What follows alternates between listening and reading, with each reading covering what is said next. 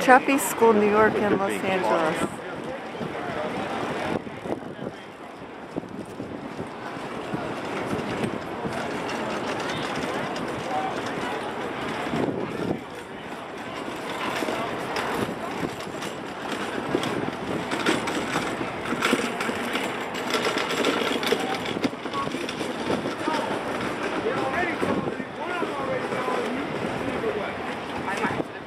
it's just my personality.